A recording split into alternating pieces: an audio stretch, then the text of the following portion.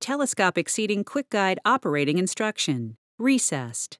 To open the recessed seating system, first clear any obstruction from the front of the telescopic bleacher or platform and surrounding areas. Then notify any people in the general area of the seating system that it will be operated and to stay clear until it is set and ready for spectator use. To close the recessed seating system, first clear any obstruction from the decks of the telescopic bleacher or platform and surrounding areas. Then notify any people in the general area of the seating system that it will be operated and to stay clear until it is fully closed in its stored position.